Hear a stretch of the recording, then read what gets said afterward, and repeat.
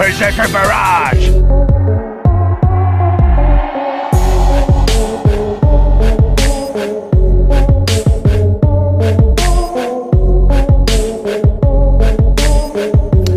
Como sabrán, la sección de noticias rápidas no puede faltar en el canal y en esta ocasión hay un montón de buena información para comentar.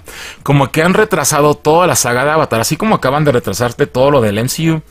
Pues también Disney aprovechó para, rem- para remandar a la chin todos sus proyectos de Avatar con creo que un tiempo un poco más acorde para que brillen mejor, porque tan pegadas, pues era como como muy pegado, ¿no? No iba a haber tanta lana. Y ahora hay una nueva favorita para su Storm Seeds, aunque ya creíamos que iba a ser Margot Robbie. Pues al parecer hay un pequeño dilema o problema en la producción que está impidiendo que esto se concrete. Y todavía tienen ahora esta favorita. No sé si es buena idea, usted me va a decir. Pero está pasando. Así que vamos al chismorrongo, señores. Sí. Todo parece indicar que el casting de los cuatro fantásticos, hablando de, aún podría sufrir modificaciones y es que los actores ya que parecían seleccionados están pidiendo demasiados requisitos, porque todos son estrellas, salvo el que es la mole, ¿no? Em, quieren requisitos eh, pues altos, ¿no? Como espacios este, específicos de libertad, de tiempo y salarios más altos. Algo que, bueno, evidentemente Disney en este momento, pues no quiere cumplir, porque como a Disney le está yendo de la rechingada todavía, pues no creas que está muy feliz de cumplir los caprichitos a cualquier persona. Pues sí es que estos tres, pues el este, el Mezcal, Paul Mezcal, todavía es nuevo, pero pues tiene un chingo de propuestas, cabrón. Entonces es entendible que el güey diga, pues si me voy a quedar aquí, que me convenga. Yo también lo haría, debo decirlo. Entonces también el Adam Driver tiene situación similar y Margot Robbie también. Entonces, pues por eso la exigencia, pero pues quieres rostros bonitos y caros y conocidos, pues paga las consecuencias, cabrón, ¿no? Total. Aunque ya lo sabíamos, es más que oficial que los personajes de X-Men clásicos que aparecerán en Deadpool 3 tendrán un look tal cual el de los cómics. Todos tienen sus respectivos trajes originales, algunas modernizadas, algunas modificaciones. Pero sí no son los trajes negros cuchos que vimos antes, ¿no? Eso sí se dice que podrían sumar y darnos algunas sorpresas que eso me acabo de enterar. Ya sabíamos que algunos actores regresaban, mas no todos. Al parecer han sumado otros más que van a aparecer con sus trajes y va a ser varaz. No sé. Esto es como un No Way Home Deathman. Es prácticamente lo que pasó con, con No Way Home, pero con las películas de la Tony Century, pero ha mejorado, ¿no? Entonces es muy prometedor. En un próximo video les cuento, pero sí, suena bastante bien. Total, a pesar de los rumores de la cancelación de la película de El Muerto con el chingoncísimo de Bad Bunny, todo indica que sí se podría realizar. De repente nos enteramos que no la van a hacer.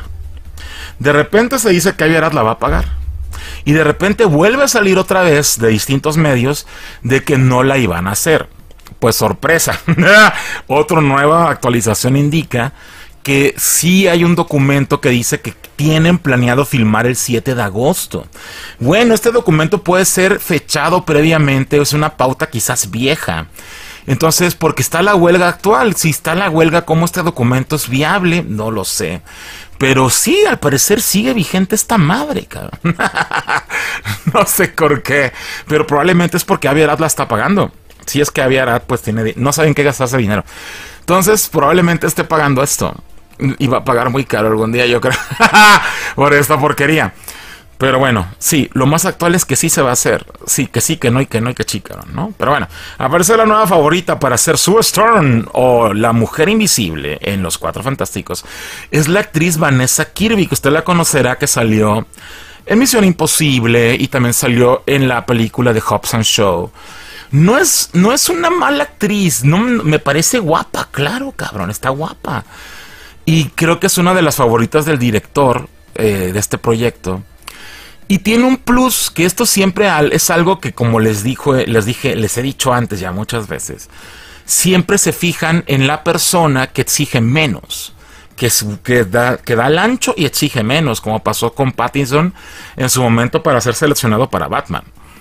Y es que ella, pues no exige un gran salario, ella feliz con estar en el MCU, y parece muy comprometida con el proyecto. Es guapa, es de güera, se ve increíble.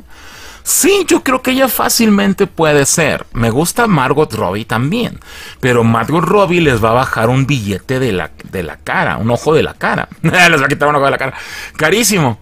Y ella no, y parece que puede dar el, fácilmente el ancho, ¿no? O sea, puede, creo que sí, véanla. O sea, creo que sí puede ser una muy bonita, una muy bella Sue Storm. Entonces yo creo que, pues yo creo que se van a ir por ella si les soy sinceros, creo que ella va a terminar quedándose con el papel, ¿no?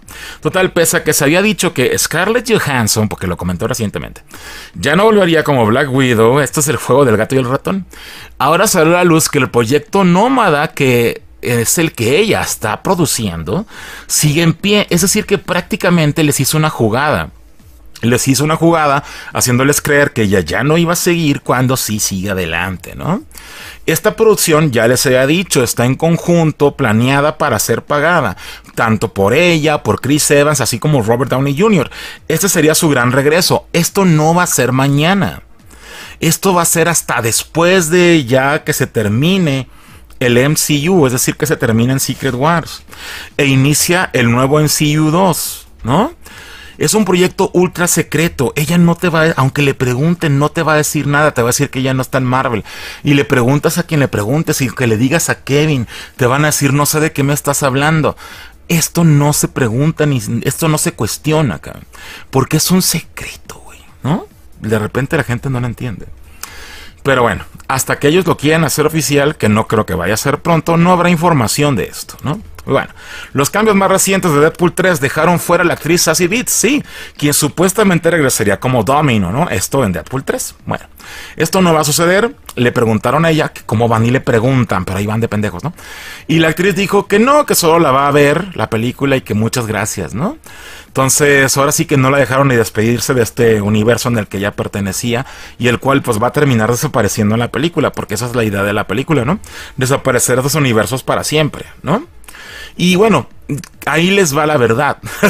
el chisme. Ahí les va la verdad. Es que la actriz quería que le pagaran lo mismo que le pagaron por hacer Deadpool 2.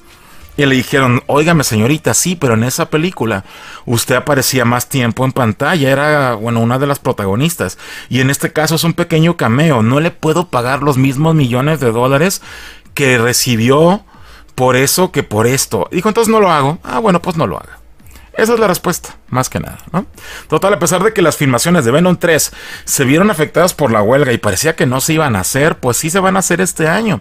Sony está muy seguro de, poner, de poder, perdón, estrenar la película en el determinado tiempo, concluirla en determinado tiempo para hacer el estreno ya oficial de el octubre del 2024.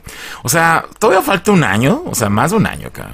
Entonces es entendible que den la fecha y así la pones y nadie te la aparta. Es como, ahí me senté, es mío, ese lugar es mío, es como para apartar lugar, ¿no? Es como tu reservación.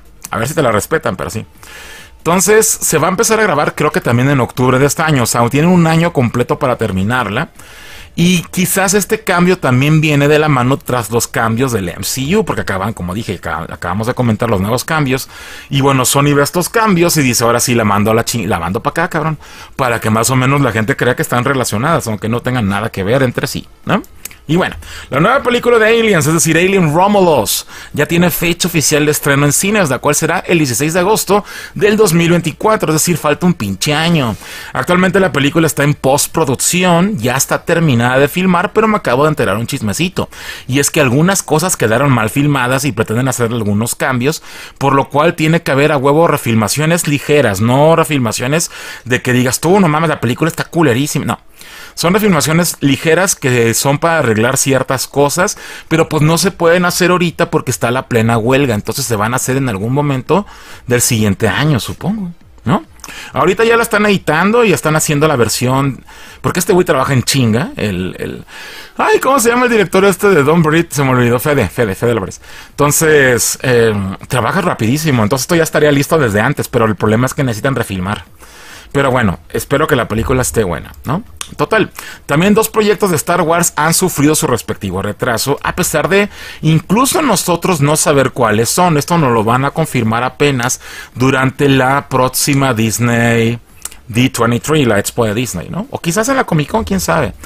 No sabemos de qué son, solo sé que una es la de Dave Filoni, ¿no? El primero, de los proyectos se mueve del 16 de diciembre del 2025 al 22 de mayo del 2026, ¿no? Y el segundo se va hasta el 17 de diciembre del 2027.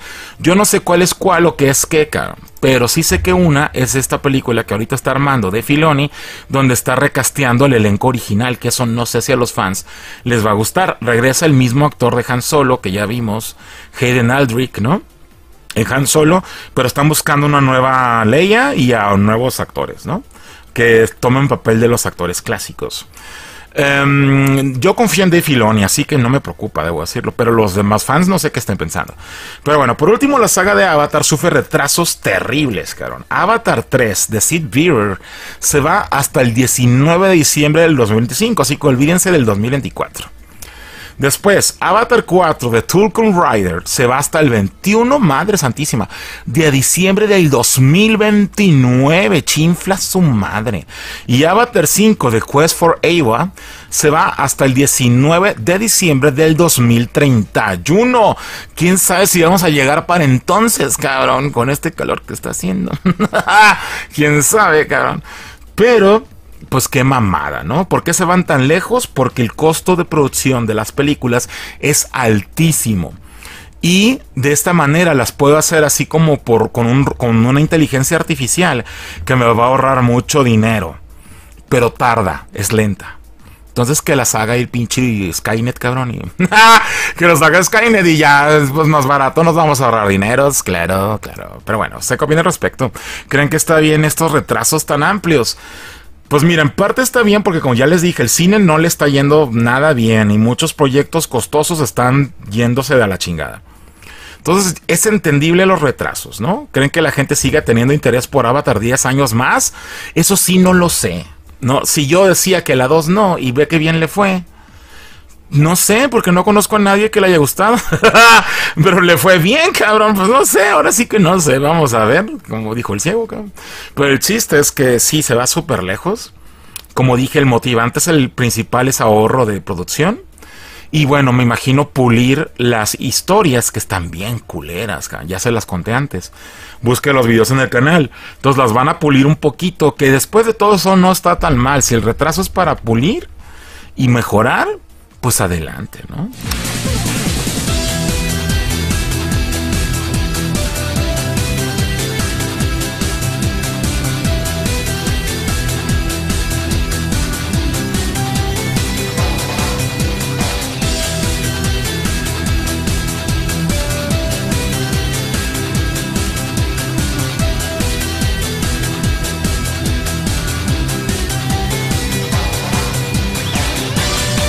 Berserker Barrage!